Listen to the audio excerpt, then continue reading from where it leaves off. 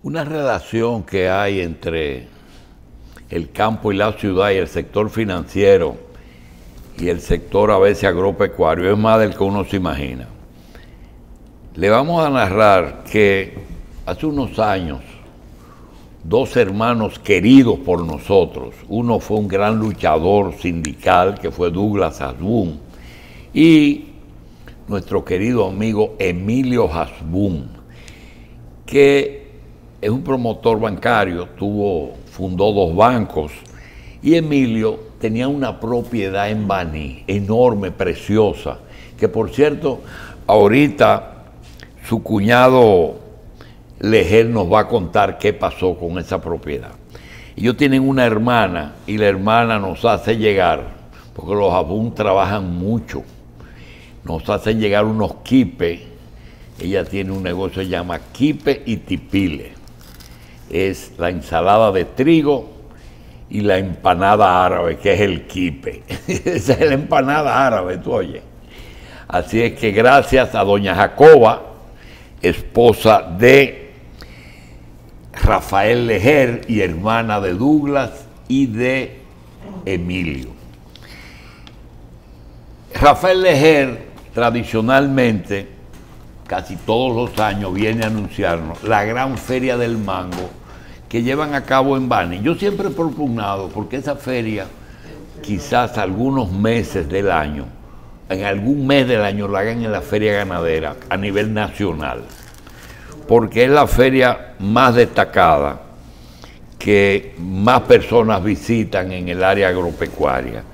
Nosotros tenemos a Rafael Lejer, presidente del clúster, y tenemos también a Julio de Oleo y Ramírez. Ya temprano tuvimos el placer de presentarle a ustedes un regalito que nos envía la Asociación Vanileja de Productores de Mango, que es miembro, esa asociación es miembro de el clúster, dice Leger que hay cinco o seis asociaciones que conforman el clúster del mango dominicano. Y nosotros tenemos aquí algunos otros mangos para que ustedes tengan una idea. De, por ejemplo, este tiene una libra. Pon los dos. Este tiene una libra. Imagínese usted cuánto puede tener este mango. Ese debe tener por lo menos dos, ¿verdad? Nos mandan también nuestro mango vanilejo, que es en sabor el mejor, pero desgraciadamente el tamaño, no a veces nos necesitamos dos o tres, ¿verdad? Pues no decir media Señores, gracias a la Asociación de Productores de Mango y sobre todo al presidente del clúster y al miembro Julio de Olio que están con nosotros y que nos van a hablar de Expo Mango 2021. Bienvenidos como siempre, Lejer. Gracias. Gracias a tu mujer por los quipes. Bien.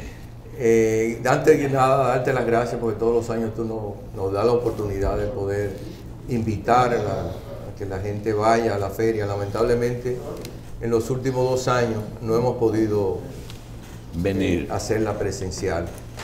Pero ya el mango dominicano se conoce ya en otras fronteras y con el apoyo de la National Mango Board de Estados Unidos vamos a hacer una feria especial básicamente basada en tecnología. Vamos a tener seis expositores de primer nivel que van a, a, darnos seis charlas los días 14, 15 y 16, eh, más otros eh, presentadores, expositores dominicanos que van a hablar sobre el tema del, del mango. Yo creo que es una oportunidad que tanto los técnicos, los productores y transversalmente todos los productores de, de frutas, no solamente de mango, deben escuchar estas charlas, que van a ser tres días eh, premium para el país.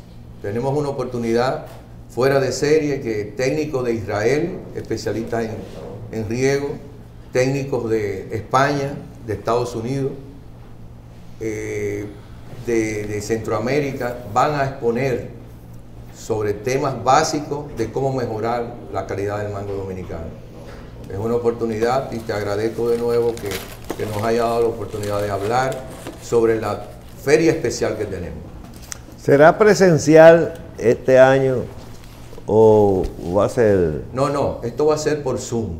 O sea que va a tener acceso Todos los países. todo el país, todo el que quiera participar, eh, con el apoyo, porque hemos conseguido ese apoyo, que el país al darse a conocer, eh, fuera de, no solamente en Europa, sino en Estados Unidos, con, con lo que mencionábamos fuera de cámara, de las nuevas plantas que tenemos para entrar a ese mercado tan competitivo de Estados Unidos, pues estamos ofertando, eh, nos, eh, nos- dieron la oportunidad de poder tener esos técnicos a nivel mundial, técnicos de primer nivel, o sea, estamos hablando del doctor Víctor Galán, el doctor español, el doctor de, eh, Levín de, de- de, eh, Israel, de Centroamérica tenemos como tres más.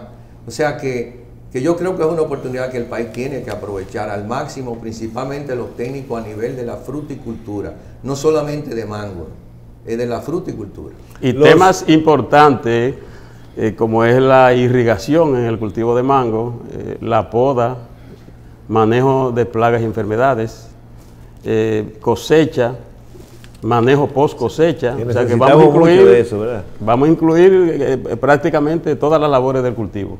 Eh, nosotros los que no somos expertos en mango, y así lo es la ciudadanía, que nada más somos expertos en comerlo, eh, para papá. edificar la sociedad. El- yo conozco tres mangos, tres tipos de mangos. Los que son buenos para comer, entre los que están algunas variedades que ustedes dirán ahorita, porque nosotros escuchamos empíricamente, bueno, que el puntica, que este, que el otro. Y lo de la industria, porque tengo un amigo que tiene una industria y veo que desmontan Mira, camiones de mango. terminó- ya terminó la, fe- la feria. No, no, empieza el lunes. Pues mira, te voy a decir una cosa. Ve que no son tres tipos. ¿Sabes cuántos son? ¿Eh? Ahí es como mil tipos más. No, No, no. pero que no va a ser presencial. Es virtual, es virtual. Es Eso virtual. se lo trajimos. No. ¿No lo van a hacer en el parque? No, no, Por la- va a ser es virtual. por Zoom. que se va a hacer. Por la pandemia. Por que- la pandemia no nos lo permite. Es que la aglomera- No, eh, nos eh, permiten. Una feria que es tan una feria que es tan tradicional no hay forma de evitar la aglomeración si Sí, se hace eso. presencial ahí En lo de entiendo decía yo que son tres tres grupos que el teteo. tres grupos de mangos es lo que generalmente se conoce, ¿no? Sí. El de, exporta- No, el de exportación, el que yo conozco. Sí. El de exportación, los, las variedades de exportación, Sí. las variedades de consumo, de, que son dulces, que puede o no ser del de exportación, y el otro es el de la industria. Yo tengo un amigo que tiene una industria que es el único lugar donde he visto desmontar camiones de mango para molerlo. Incluso hay uno que se muele con todo y cáscara. Sí. Eh, explica, dile algo al país sobre esos tipos de mango y de paso, si tú quieres, cuáles son las zonas óptimas para la producción, aunque conocemos que Baní y San Cristóbal, eh, pero no, no estamos tan seguros de eso. Y si quiere hablar un poco de las áreas y del mercado, el volumen del mercado de exportación y del futuro para que puedas con tranquilidad edificar la opinión pública. Mira, el mango eh, básico que se ha sembrado para exportación y que domina el mercado, principalmente el mango europeo, que es el mango eh. Es un mango, tiende a ser rojo en algún momento, eh, pero el mercado europeo lo domina el mango kit, que tenemos más o menos un 60, un 70% de la siembra de mango eh, en toda la zona sur, básicamente. Fuera de eso, ha empezado a desarrollarse el mango eh, mingolo. El mango mingolo Mingol. es, viene siendo la estrella del mango dominicano. Es un mango que se descubrió hace 6 o 7 años, pero toda la vida ha estado ahí. Fue el primero que, que Julito enseñó, el, el- el- uno grande, pequeño, ese, mediano, ese, que pesa mediano. No, no. No, ese, mira ese. Es un mediano No, no medio está- larguito. Ese, Ese, el ese, primero ese. que tú mencionaste para la exportación es ese. Es el kit. No, el está aquí, está aquí está la variedad del El kit. kit está la- aquí abajo. Los mangos rojos son los que dominan el mercado europeo. Y el mercado norteamericano también consume mangos rojos. Pero nosotros no podemos competir con México. Y el sabor cambia mucho. El rojo es este. Exacto. Ese Tommy es el Tommy Atkins. Ese es un mango que los americanos lo consumen mucho, lo suple México. México coincide con nosotros en la producción de mango. Entonces ese es un problema de que nosotros no podemos competir con mangos rojos en el mercado norteamericano. Ahora, Este se ve mucho aquí en los supermercados. se ve en los supermercados, pero el que más se ha sembrado para exportación es el kit. Que está- Aparece el el, el, mingo- el, el- el Tommy ha ido bajando en su siembra porque tiene ciertos problemas y además Eh, no hay. Perdón, para ti es fácil porque tú estás con los ojos cerrados, conoces mango. Pero para nosotros, Sí, ese que tú levantaste es el Tommy. Tommy Atkins. Este es Tommy Tommy. Atkins, sí. la especialidad de este, ¿cuál es? Ese es un mango que es atractivo a la vista, es muy- eh, tiene un color, pero no es un- eh, tiene mucha fibra. No, con este que no, No. podemos competir. Pero no, lo- no, no, podemos hacerlo, se puede sembrar, Pero pero, el tenemos a problema es México dándonos duro. No, que nosotros tenemos que trabajar con mangos de nichos. Y el mango que nosotros tenemos que desarrollar para el mercado norteamericano es el mango amarillo.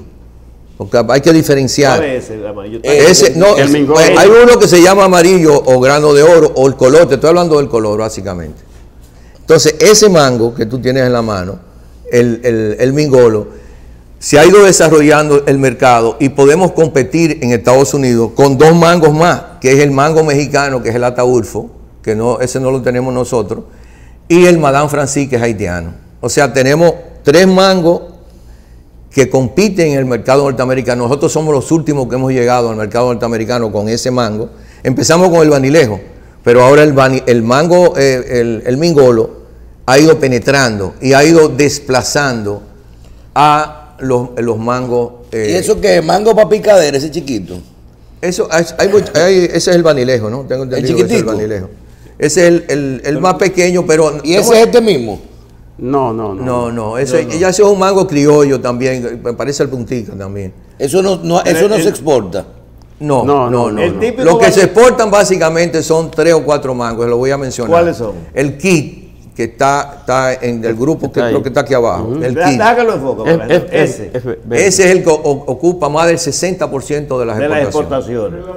Después El- sigue el ese también- El que está arriba a la derecha. Ok, ese también se ve en los supermercados en venta. Sí, sí. Claro que sí, Ese porque mismo. es el que más tenemos. Sobre todo hay el que buscarlo, hay Ese, que buscarlo ahí. Ese, ese. Ese. E- Ese que, tú- que está, está en la esquina Exacto. que tú tienes. Que- Mira la pantalla. Ese mismo es. Esos ese. cuatro Sí, sí. amarillitos que están Ese, ahí ese, ese es el ¿verdad? kit. No, no, el que está allá en el medio. Ese sigue para allá. El que está en el medio. En el centro, Ese, arriba. el centro.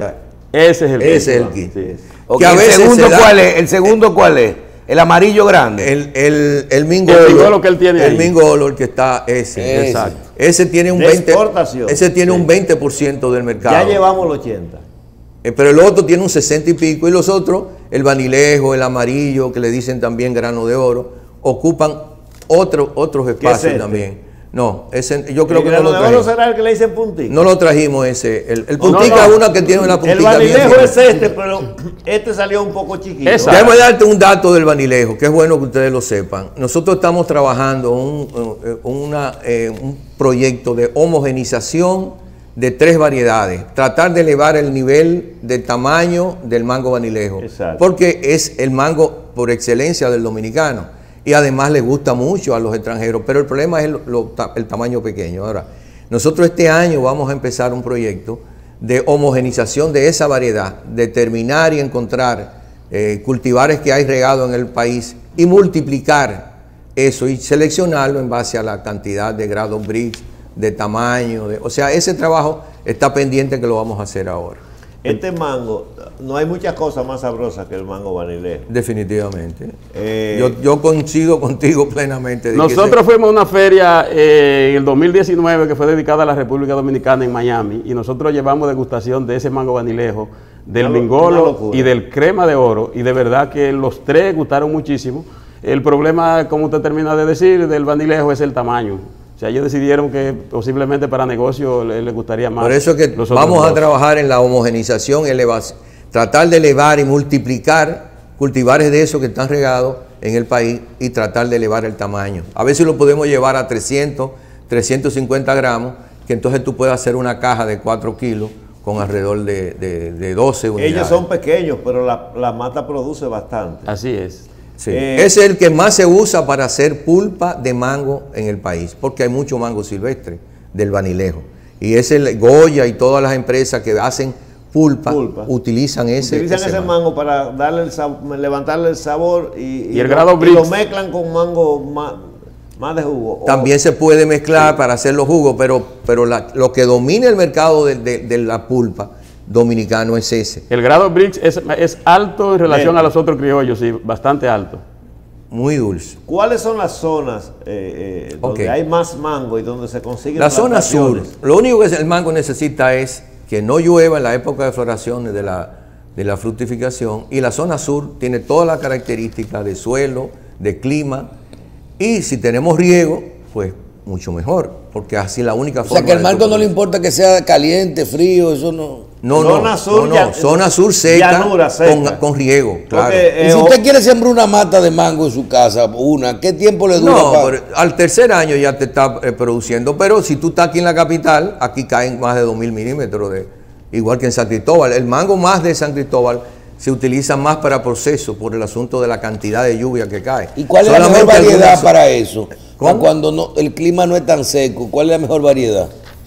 Para, bueno, hay algunas variedades que, que soportan más el ataque de la antragnosis y de la, y de la plaga de la mosca también, que eso en zonas de alta pluviometría y si no se poda bien las plantas, pues tiene mayor ataque. Pero sigue siendo el kit, o sea, la variedad que en cualquier el- lado puede tener buena producción y menos daño. Ese chorro que se le ve a los mangos en el Cibao, en la mayor parte de la zona del país, del interior, Ajá. que son unos chorros como de savia, eh, de, algo, parece hasta eh, viscoso. Mancha negra, una mancha negra que tú Y le ves al mango. viscoso, viscoso. Eso es por la lluvia. Es la lluvia, Así es, definitivamente. así y, la- es. y el no, no- no manejo de la plantación, porque si tú no podas y no le entra el sol, pues la- las Y plagas, las produce enfermedades menos. se refugian ahí. ¿Hay algún programa o la mayoría de las plantaciones que comercialmente se están usando, todas están bajo un programa de, de- de poda adecuada? Aquí la gente no poda nada. No. En el Cibao hay millones y millones de plantas de, de- de zapote. Sí. Y llega un momento en que la gente no quiere ni, ni cosecharla porque están tan altas que habría que, que montarse en un helicóptero. Dame, da- déjame darte un dato. no- no está Nosotros, desde que se empezó el trabajo del clúster a desarrollar, trajimos expertos internacionales En y nos enseñaron a cómo manejar las plantaciones.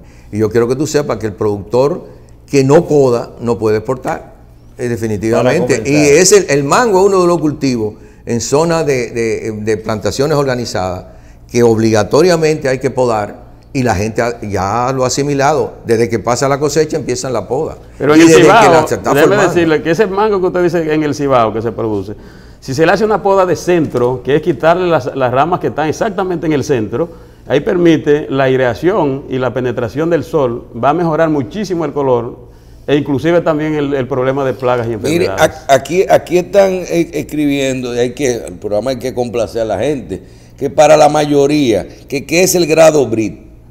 Ok. El grado brie es la, si es sabor, olor, azúcar, ¿qué, qué es? es la concentración Exacto, de azúcar exacto. que tiene la fruta y entonces se mide por eso y se mide de tal forma de que cuando tú vas a, a- a exportar, tú tienes que tener un grado brie bajo para que pueda aguantar el transporte, el tránsito del transporte. O sea, que con un grado Brit ah, eh, eh, eh, bajo te da que Te da el tiempo sea de- menos perecedero. Bueno, el problema es que el mango, dependiendo de la variedad, puede llegar a tener 20, 21 eh, grados brie. Pero ¿qué pasa? Para tú exportarlo, si lo mandas por avión, tienes que mandarlo entre 9 y 10 y 11 grados brie. Si lo mandas por barco, tiene que estar alrededor de 7. ¿Y qué tiempo dura un mango desde que uno lo corta hasta que puede llegar a un supermercado en Estados Unidos, por ejemplo, y que y, a- a- eh, dos meses, tres meses? No, no, no. Y depende El tránsito de- de Estados Unidos son tres, eh, tres o cuatro días. Y después el periodo que pasa a, a Europa son alrededor de 12 a 14 días. O sea, de- Pero dependiendo un mango, de- un mango dura un mes. puede durar en condiciones de con, con temperatura. favorable, puede condiciones llegar. favorables. sí, puede Pero lo del grado BRICS está relacionado con la maduración. Por eso el ejército dice, cuando habla de que el grado Brix debe ser bajito, quiere decir que el mango verde, que se cosecha verde para que pueda llegar a tiempo y madure al destino que va, entonces tiene que es bajo porque es verde. Una vez que va madurando, entonces comienza a subir el grado claro. que es el azúcar. El mismo tema del guineo. Exacto. El guineo que se exporta pa- es- no es para consumir verde en Europa. Claro que es para Y lo, y someten a Y maduración. Tiene que salir no solamente verde, sino que tiene que salir un poco, eh, como le llaman, por debajo de grado. nuevo. Eh, o sea, el grado- exacto. Y entonces lo ponen en cámara de maduración allá para terminar. Pero sobre ese tema hay que hablar porque hay dos tipos de exportación. Exportación marítima y por vía aérea. Claro. Entonces la que se va por vía aérea, Que es más rápida. eh, que es más rápido, eh, le ponen un sticker que dice por avión o, o listo para comer. O sea, eh, ready to eat. Entonces ese ticket significa que ese mango no se cortó verde, sino que se cortó en la, en la, en la planta con un grado de madurez mayor. Entonces se paga más por eso. Porque hay que pagar un flete más caro, porque es por avión.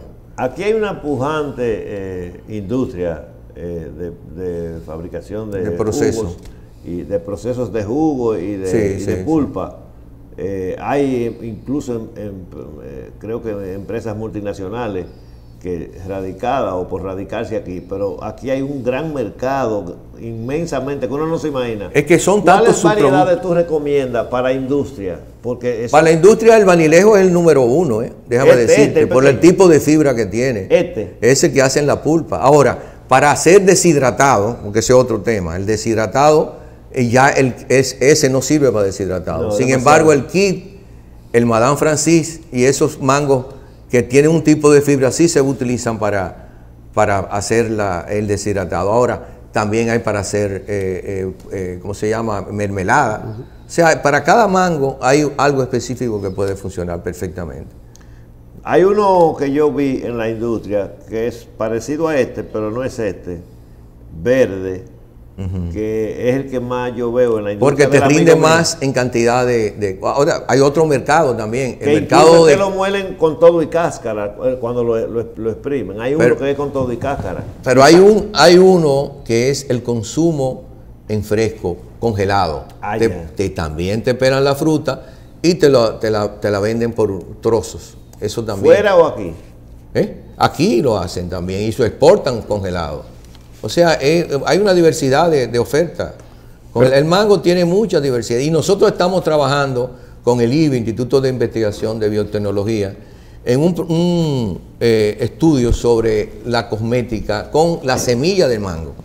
La semilla te da una crema parecida a la crema de cacao, que estamos en investigación sobre esto porque se está utilizando en muchos países y hay variedades que te dan eh, un, un buen eh, para el uso de la cosmética. ¿tú ves?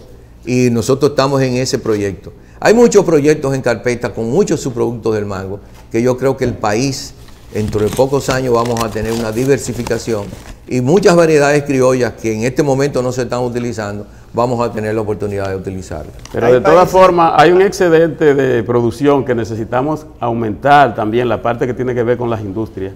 Sea, los productores a veces tienen de- de- también excedente de mango y a veces se le queda. Entonces, tenemos que apuntar más sobre las industrias del mango, tratar de industrializar más el mango Pónganse en contacto hablando. con Delidón, es una empresa que está por el kilómetro 15, por donde está el Banco Popular ahí, un poco más adelante de en la autopista Duarte, un poco más adelante de la Sirena, Ajá. a mano izquierda, por ahí dentro, en un residencial, hay una importante empresa eh, que se llama Que procesa que- fruta. Que es donde yo he visto que más frutas recibe.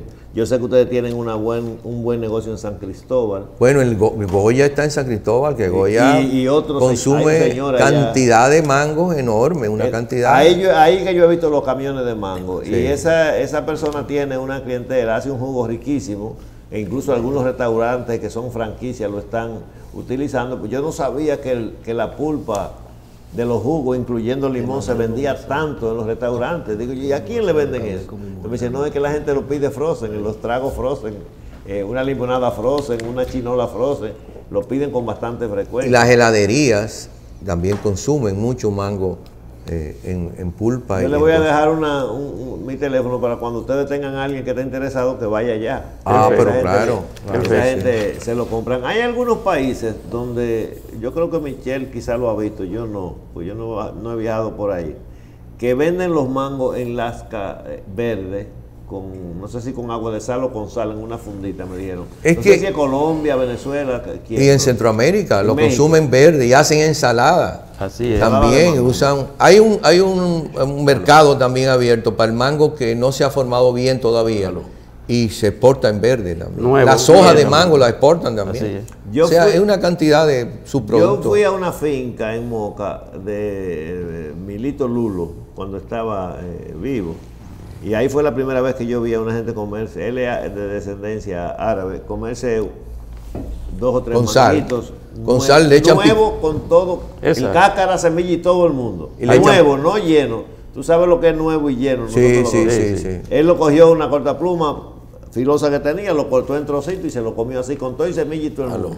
Sí, Hay un mercado para eso. También en Europa también están eh, enviando mango para Europa, exportando man- ese mango nuevo. Verde o Así nuevo. es, así Sí, es. sí, nuevo, Así nuevo, es, lo nuevo.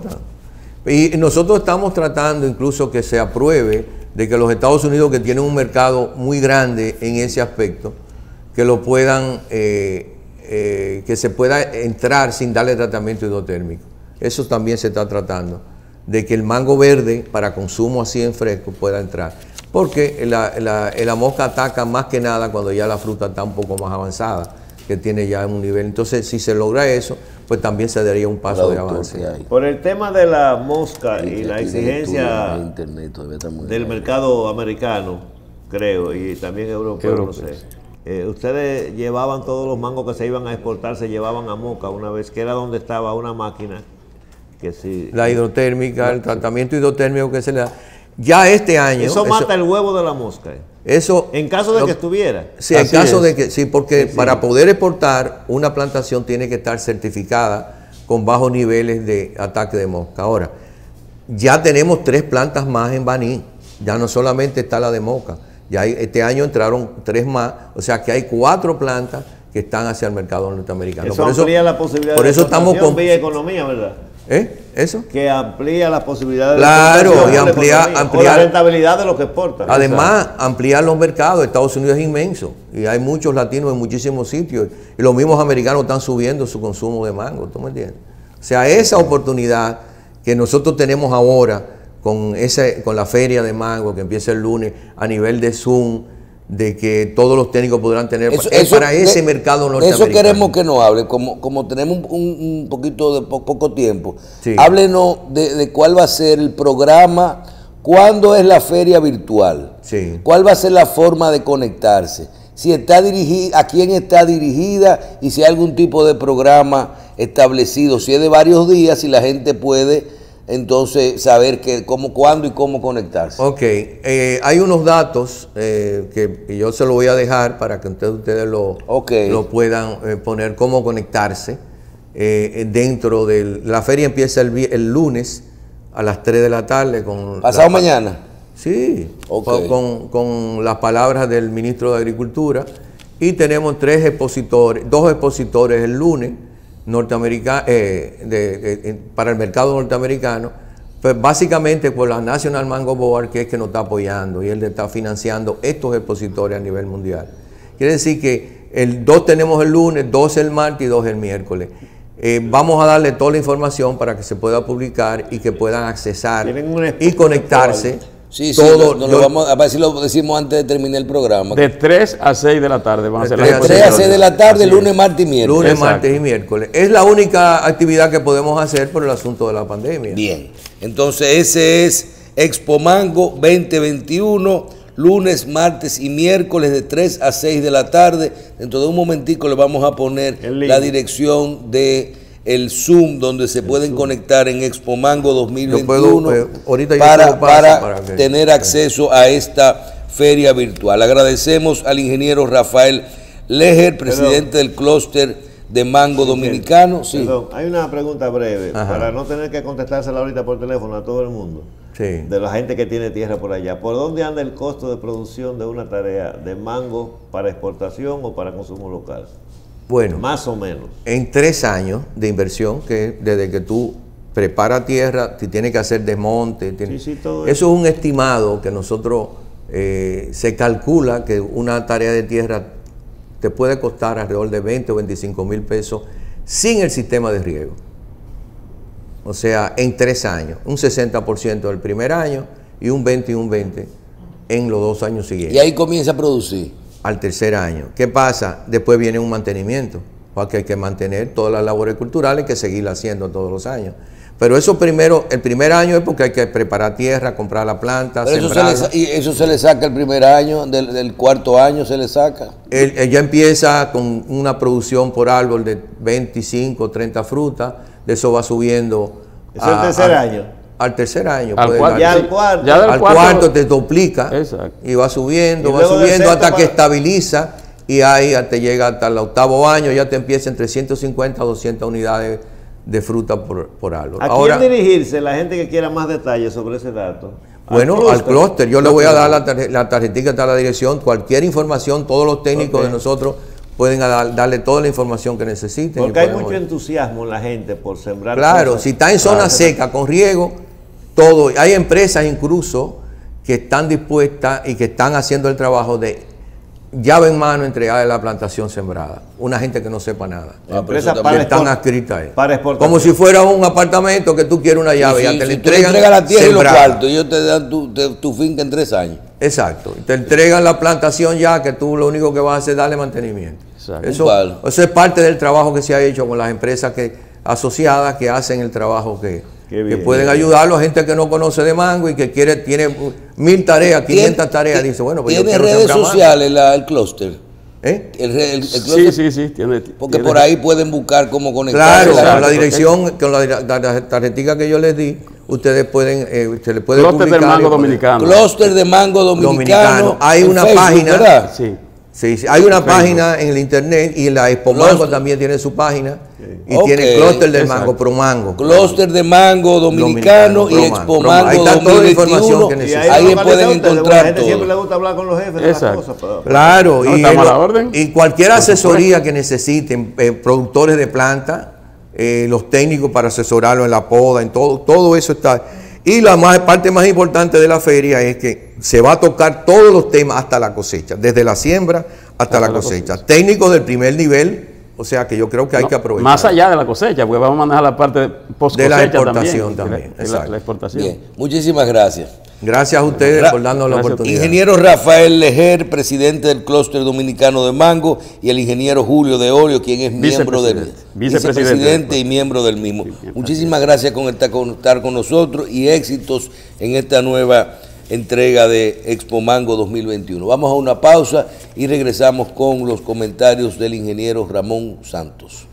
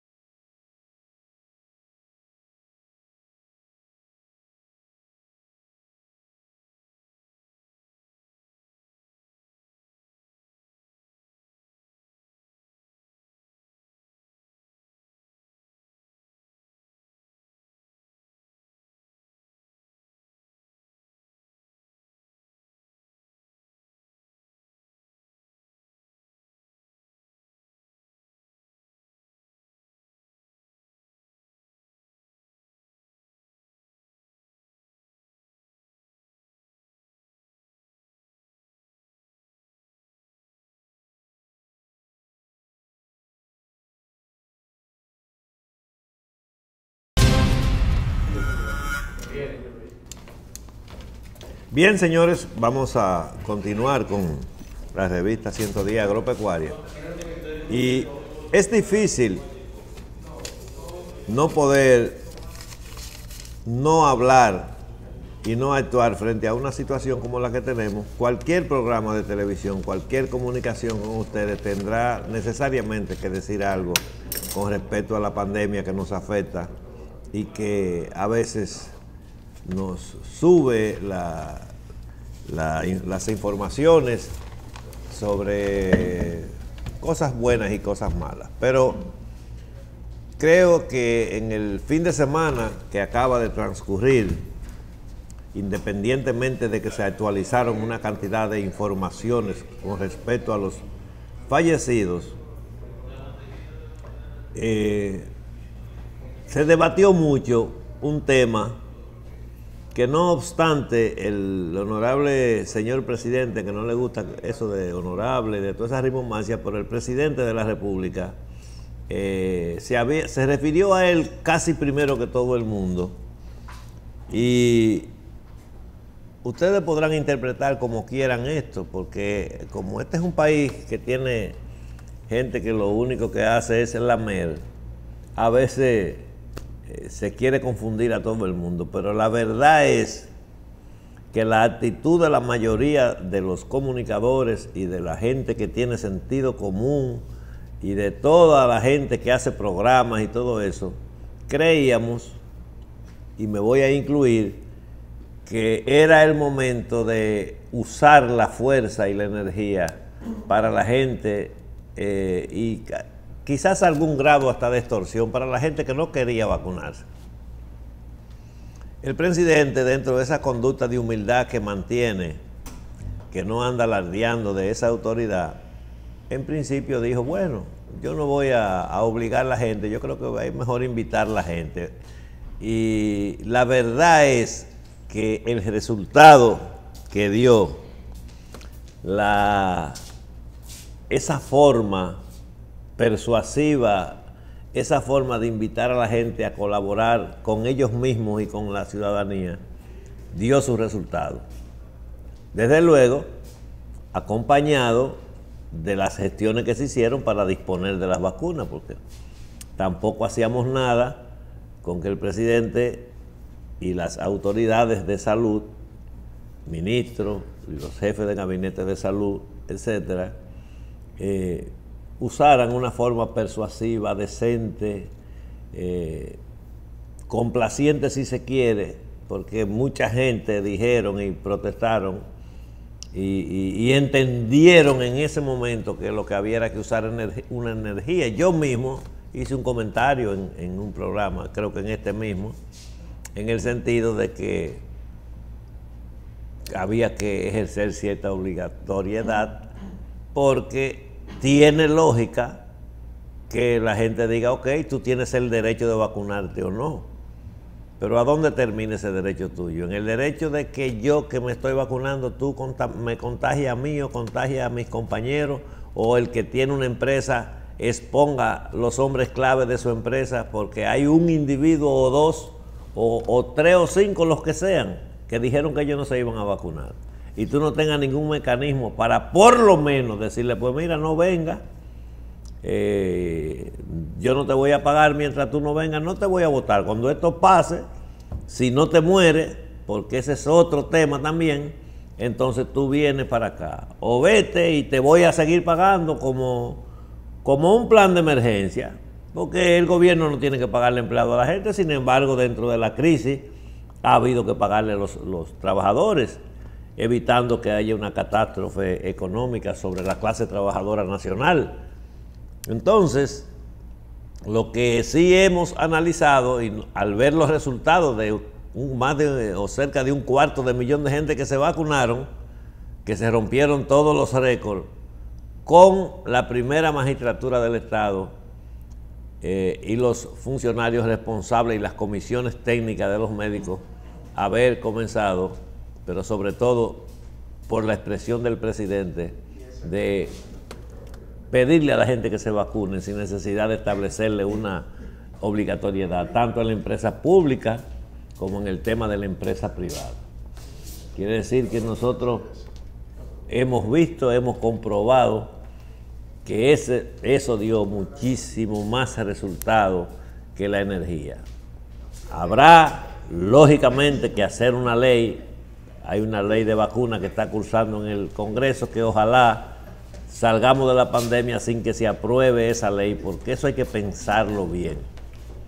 Esas son leyes delicadas y yo me inclino porque si se va a acelerar esa ley, que se haga estableciendo la autorización a los organismos técnicos del Estado de la Salud, llámese Ministerio de Salud Pública, la facultad de tomar la decisión que cuando se vaya a tocar la, la constitución para cualquier otra cosa se incluya eso en la constitución porque nadie está en capacidad de adivinar las pandemias que pueden venir en el futuro. Usted oye la gente con un tema tan, tan importante en este momento de que si establecer la obligatoriedad de la vacuna es constitucional o no, y yo me pregunto, si llegara un, un virus una enfermedad tipo ébola, algo así, o una enfermedad como la fiebre porcina africana en los cerdos, pero para la gente, que los cerdos hubo que matarlo a todos. Pero puede venir uno para la gente que no haya que matarlo a todos, pero que si no se eliminan físicamente los primeros 50 mil que la tienen, el resto de la población se muera. ¿Quién va a tomar esa decisión? si la ley no está preparada para eso. Porque eso pudiera perfectamente pasar. Y parece que las guerras del futuro van a ser más biológicas que de otra manera. Como todo en la vida pasa de moda, como pasan las eras, así las eras políticas en los pueblos, así pasan las cosas tecnológicas y las guerras. Probablemente ya los misiles van a ser menos importantes cuando entre en vigencia o, entre a utilizarse al máximo la nanotecnología y quizás sean enjambres, en, ya enjambres de drones del tamaño de una abeja, y digo la palabra enjambres por el tema de la abeja, que, que llevarán enfermedades a los diferentes países.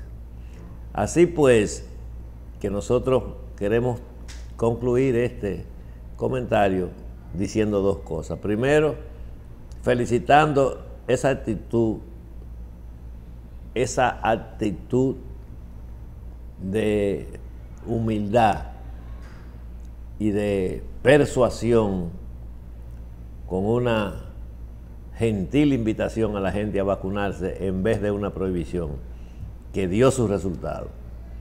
No estoy diciendo con esto que más adelante si algunos, no obstante esa campaña que se ha hecho con respecto a invitar a vacunar, no tempera y pone en peligro la salud pública, se haga lo que haya que hacer.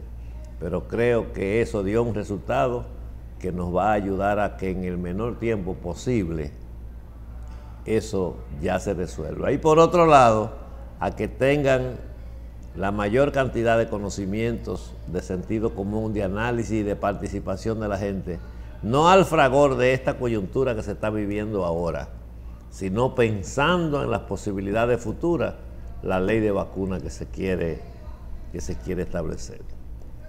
Por otro lado, eh, queremos eh, decir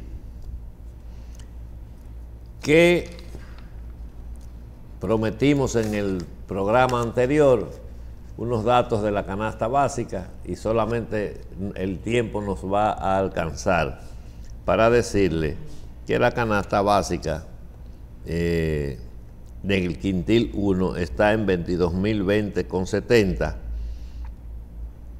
y que las, los incrementos que se han sucedido en el mundo y entre ellos en la República Dominicana prácticamente casi han llegado al doble de los costos de las canastas básicas de todos los países de- del área y, que no, y de los que no son del área.